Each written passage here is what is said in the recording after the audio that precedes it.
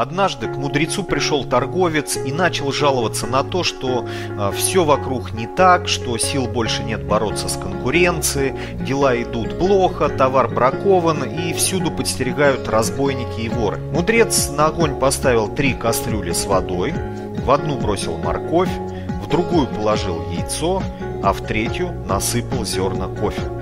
Через некоторое время он вынул из воды морковь и яйцо и налил в чашку кофе из третьей кастрюли. «Что изменилось?» – спросил мудрец. «Яйцо и морковь сварились, а зерна кофе растворились в воде», – ответил торговец.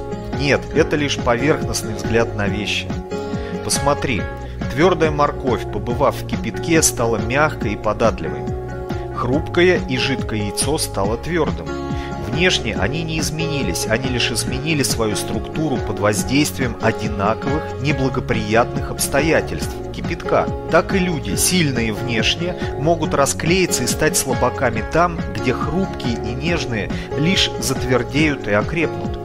Зерна кофе полностью растворились в новой враждебной среде и изменили ее, превратили кипяток в великолепный ароматный напиток. Есть особые люди, которые не изменяются в силу обстоятельств. Они изменяют сами обстоятельства и превращают их в нечто новое и прекрасное, извлекая пользу и знания из ситуации.